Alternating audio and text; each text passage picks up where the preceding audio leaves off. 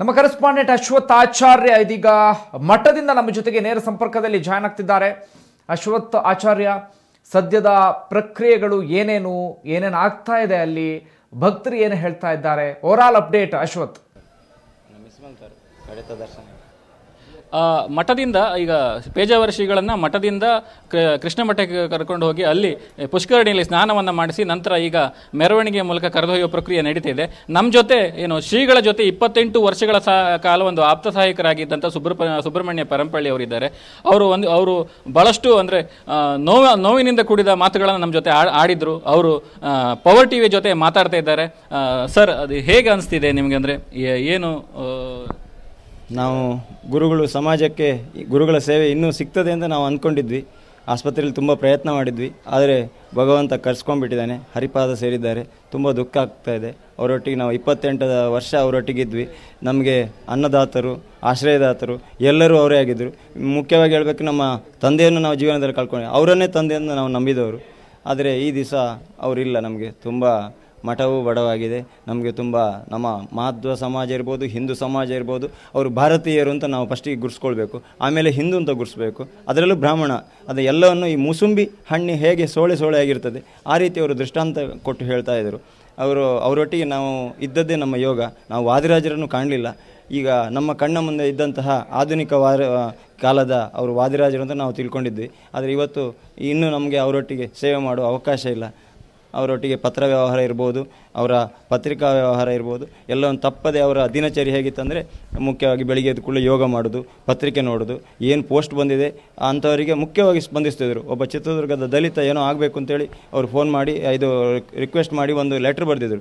ಅವರಿಗೆ ರಿಪ್ಲೈ ಮಾಡಿದರು. ಅವರಿಗೆ ಆಶ್ಚರ್ಯ, ನನ್ನಂತಹ ಒಬ್ಬ ದಲಿತ ಬಡ ಕುಟುಂಬದಿಂದ ಬಂದವರಿಗೆ ಒಂದು ರೆಸ್ಪಾನ್ಸ್ ಮಾಡ್ತಾ ಇದ್ದಾರಲ್ಲ ಗುರುಗಳು, ಇದು ಅವರದ್ದು ವಿಶೇಷ ಗುಣ ಗುರುಗಳದ್ದು. ಹಾಗೆ ಅದಾದಮೇಲೆ ಅವರ ಸುಧಾ ಪಾಠ ವಿದ್ಯಾಪೀಠದ ಅವರದ್ದು ಕನಸು, ಬೆಂಗಳೂರಿನ ಪೂರ್ಣಪಜ್ಯ ವಿದ್ಯಾಪೀಠ. ಅಲ್ಲೇ ಅವರನ್ನು ಇದು ವೃಂದಾವನ ಮಾಡುವ ಕೆಲಸ ಆಗ್ತಾ ಇದೆ. ಅದು ಅಲ್ಲಿಯ ವಿದ್ಯಾರ್ಥಿಗಳು ಹನ್ನೊಂದು ವರ್ಷ ಓದಿದ ಮೇಲೆ ಅವರನ್ನು ಪಂಡಿತರಂತ ಸಮಾಜಕ್ಕೆ ರೆಡಿ ಮಾಡಿಸುವ ಪ್ರಕ್ರಿಯೆ. ಅದು ವಿದ್ಯಾಪೀಠದಿಂದ ನಡೀತಾ ಇದೆ. ಅಲ್ಲಿ ಹನ್ನೊಂದು ವರ್ಷ ಓದಿದ ಮೇಲೆ ಎರಡು ವರ್ಷ ಸ್ವಾಮಿಗಳು ಈ ಸುಧಾ ಪಾಠ ಮಾಡ್ತಾರೆ. ಆ ಮಕ್ಕಳಿಗೆ ಎಲ್ಲಿ ಯಾವ ಭಾರತದ ಯಾವ ಮೂಲೆಗೆ ಹೋದರೂ ಪಾಠ ಮಾಡ್ತಾಯಿದ್ರು ಎಷ್ಟು ರಾತ್ರಿ ಆದರೂ ಸರಿ, ದಿನ ಇಷ್ಟು ಪಾಠ ಆಗಬೇಕು ಅಂತೇಳಿ ಅದನ್ನು ತಪ್ಪದೇ ಮಾಡ್ತಾಯಿದ್ರು ಆಮೇಲೆ ಅವರ ಪೂಜೆ ಯಾವ ಕಾರಣಕ್ಕೂ ಎಷ್ಟೇ ಅವರು ಪ್ರಗತಿಪರ ಚಿಂತನೆ ಇರ್ಬೋದು ದಲಿತ ಕೇರಿ ಭೇಟಿ ಇರ್ಬೋದು. ಯಾವ ವಿಚಾರವೂ ಇರ್ಬೋದು. ಇಷ್ಟಿದ್ರು ಅವರು ಪೂಜೆ ತಪ್ಪಿದವರಲ್ಲ, ಜಪ ತಪ್ಪಿದವರಲ್ಲ. ರಾತ್ರಿ ಹನ್ನೊಂದು ಗಂಟೆಗೆ, ಹನ್ನೆರಡು ಗಂಟೆಗೆ ಎದ್ದು ನನ್ನ ಜಪ ಬಾಕಿ ಉಂಟು, ನಾನು ಅದನ್ನು ಮಾಡ್ತೇನೆ. ಯಾವ ಕಾರಣಕ್ಕೂ ಅವರು ಅವರ ಪೂಜೆ ಮತ್ತು ಅವ್ರದ್ದು ನಮ್ಮ ಮಠದ ಈ ಭಾಷೆಯಲ್ಲಿ ಜಪ ಅಂತ ಹೇಳ್ತಾರೆ. ಅದನ್ನೆಲ್ಲ ತಪ್ಪಿದವರಲ್ಲ ಅವರು. ಹಾಗೆ ಅದಾದರೆ, ಅದ, ಅದರ ಬಳಿಕ ಅವರು ಮಧ್ಯಾಹ್ನ ಅವರ ಸಂಪ್ರದಾಯದಂತೆ ಭಕ್ತರಿಗೆ ಮಂತ್ರಾಕ್ಷತೆ ಕೊಡೋದು. ಬಳಿಕ ಮುಂದಿನ ಪ್ರಯಾಣ, ಲೌಕಿಕ ಕಾರ್ಯಕ್ರಮ, ಅದ, ಅದೆಲ್ಲ ಮುಗಿದ ಮೇಲೆ ಮುಂದೆ ಪ್ರವಚನ ಮತ್ತು ಯಾವ ಕಾರ್ಯಕ್ರಮಗಳಿದ್ದರೂ ತಪ್ಪದೇ ಅಟೆಂಡ್ ಮಾಡ್ತಾಯಿದ್ರು ನಿಮ್ಮ ಮತ್ತು ಅವರ ಒಡನಾಟ ಹೇಗಿತ್ತು? ಅಂದರೆ ಇಪ್ಪತ್ತೆಂಟು ವರ್ಷಗಳ ಕಾಲ ಅಂತ ಹೇಳಿದ್ರೆ ಬಹಳ ಸುದೀರ್ಘ ಅನಿಸ್ಕೊಳ್ತದೆ. ಹೇಗಿತ್ತು? ನೀವು ಆವಾಗ ತುಂಬ ಚಿಕ್ಕವರು ಅನಿಸುತ್ತೆ. ಅದು ಯಾವ ರೀತಿ ನಿಮ್ಮ ಜೊತೆ ಅವರ ಒಡನಾಟ ಇತ್ತು ಅನ್ನೋದು ಸ್ವಲ್ಪ. ಮಠದಲ್ಲಿ ಮಠದಲ್ಲಿ ಚಿಕ್ಕಂದಿನ ಶಾಲೆಗೆ ನನಗೆ ಹಾಸ್ಟೆಲಿಗೆ ವಸತಿ ಕಲ್ಪಿಸಿದರು. ಆವಾಗ ಅವರೊಟ್ಟಿಗೆ ಸಲಿಗೆ ಬೆಳೆಯಿತು. ಅದಾದಮೇಲೆ ನನ್ನ ಪದವಿ ಓದಲಿಕ್ಕೂ ಅವರೇ ಅವಕಾಶ ಮಾಡಿಕೊಟ್ಟಿದ್ದು. ನನಗೆ ಬಿ ಕಾಮ್ ಪದವಿ ಇಲ್ಲಿಯ ಕಾಲೇಜಿನಲ್ಲಿ ಸೀಟ್ ತೆಗೆಸಿಕೊಟ್ಟಿದ್ದು ಅವರೇ. ಅದಾದ ಬಳಿಕ ಅವರು ನನ್ನೊಟ್ಟಿಗೆ ನೀನು ಬಂದರೆ ಬರ್ಬೋದು ಅಂತ ಹೇಳಿದರು. ನಂದು ಅದು ಸುಯೋಗ. ಅವರೊಟ್ಟಿಗೆ ಸೇವೆ ಮಾಡುವ ಅವಕಾಶ ಕೊಟ್ಟರು. ಅವರೊಟ್ಟಿಗೆ ಆಪ್ತ ಸಹಾಯಕನಾಗಿ ಅವರ ಪತ್ರ ವ್ಯವಹಾರ ನೋಡೋದು, ಅವರ ಆಪ್ತ ವಲಯದ ಎಲ್ಲ ಕೆಲಸಗಳನ್ನು ಪತ್ರ ಬರೆಯುವುದು ಅವರ ಪೋಸ್ಟು, ಅವರ ಪತ್ರಿಕೆಯ ಏನಾದರೂ ಕಾರ್ಯಕ್ರಮ, ಪ್ರೆಸ್ ರಿಲೀಸ್ ಇಂಥದ್ದನ್ನೆಲ್ಲ ನೋಡ್ತಾ ಇದ್ದೆ. ಯಾವುದನ್ನು ಅವರು ಸ್ವತಃ ತಾನೇ ಇನ್ನೊಬ್ಬರು ಹೇಳೋದಕ್ಕಿಂತ ತಾನೇ ಇದು ಮಾಡ್ತಿದ್ರು. ಯಾವ ವಿಷಯ ಇದ್ದರೂ ಅದನ್ನು ಅವರು ಸಮಾಜದ ತಪ್ಪು ಮಾಡ್ತಾ ಇದ್ದಾರೆ. ಯಾವ ಇದಕ್ಕೂ ಹೆದರದೆ ಅದನ್ನು ಖಂಡಿಸ್ತಾ ಇದ್ದರು. ಅದು ಅವರಲ್ಲಿ ವಿಶೇಷ ಗುಣ. ಈಗ ಅಂದರೆ ಎಂಟು ದಿನಗಳ ಎಂಟು ದಿನಗಳ ಕಾಲ ಏನು ಹಾಸ್ಪಿಟ್ಲಲ್ಲಿ ಇದ್ದರು ಒಂದು ನಿರೀಕ್ಷೆ ಇತ್ತು ಅಂತ ಹೇಳ್ಬೋದು. ಯಾಕಂದರೆ ಚೇತರಿಕೆ ಕಂಡಿತ್ತು. ಸಾಕಷ್ಟು ಚೇತರಿಕೆ ಕಂಡಿತ್ತು. ಆಗ ನಿಮ್ಗೆ ಏನಾದರೂ ಭರವಸೆ ಇತ್ತು ಅಥವಾ ಏನಾದರೂ ಅಂದರೆ ಅಷ್ಟು ಕೃಷ್ಣ ಕೃಷ್ಣನ ಒಂದು ಕೈಂಕರ್ಯ ಮಾಡೋದ್ರಲ್ಲಿ ಒಂದು ದಿನವೂ ಕೂಡ ತಪ್ಪಿದವರಲ್ಲ. ಒಂದು ಭರವಸೆ ಇತ್ತ ನಿಮ್ಮಲ್ಲಿ ಹೇಗೆ ಅಂತ? ನಾವು ಕೊನೆಯ ದಿವಸವೂ ನಿನ್ನೆವರೆಗೂ ಭರವಸೆ ಇಟ್ಕೊಂಡಿದ್ವಿ.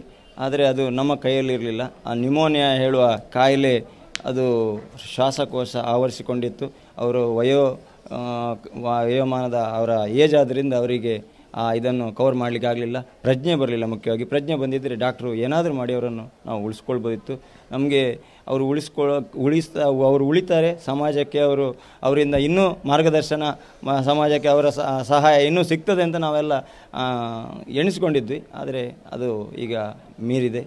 ಭಗವಂತನ ಪಾದ ಸೇರಿದ್ದಾರೆ. ಅವರ ಕನಸಾಗಿತ್ತು ರಾಮ ಮಂದಿರ. ರಾಮ ಮಂದಿರ ಅವರ ಕಣ್ಣೆದರಿಗೆ ಅದರ ಪ್ರಕ್ರಿಯೆ. ರಾಜೀವ್ ಗಾಂಧಿ ಅವರು ಇರ್ಬೋದು, ಇಂದಿರಾ ಗಾಂಧಿ ಅವರು ಎಲ್ಲರ ಹತ್ರವೂ ರಾಮ ಮಂದಿರ ಒಂದು, ಅದನ್ನೊಂದು ಏನಾದರೂ ಒಂದು ಮಾಡಬೇಕು. ಅದು ಹಿಂದೂಗಳ ಶ್ರದ್ಧಾ ಕೇಂದ್ರ ಅದನ್ನೊಂದು ನಾವು ಏನಾದರೂ ಮಾಡಿ ಒಂದು ಕಟ್ಟಬೇಕು. ಈ ವಿಚಾರದಲ್ಲಿ ತುಂಬ ಚಳವಳಿಯಲ್ಲಿ ಪಾಲ್ಗೊಂಡವರು. ಅದನ್ನು ಒಂದು, ಆ ಮಂದಿರವನ್ನು ಈಗ ಇರುವ ಇದು, ಅದು ರಾಮ ಮಂದಿರ ಒಡೆದು ಅಲ್ಲಿ ಚಿಕ್ಕ ಮಟ್ಟಿಗೆ ಒಂದು ಪ್ರತಿಷ್ಠೆ ಮಾಡಿದ್ರು, ಅದು ಇವರೇ ಮಾಡಿದ್ದು. ಮುಂದೆಯೂ ಪ್ರತಿಷ್ಠೆ ಇವರೇ ಮಾಡ್ತಾರೆ ಅಂತ ನಾವೆಲ್ಲ ತಿಳ್ಕೊಂಡಿದ್ವಿ. ಆದರೆ ಅದು ಅದು ಇನ್ನು ಕನಸು ಮಾತ್ರ. ಅದು ಇನ್ನು ನನಸಾಗೋದಿಲ್ಲ. ಅದು ರಾಮ ಮಂದಿರ ಮೊನ್ನೆ ಕೋರ್ಟಿನಲ್ಲಿ ತೀರ್ಪು ಬಂದಾಗ ಸಂತೋಷಪಟ್ಟವರಲ್ಲಿ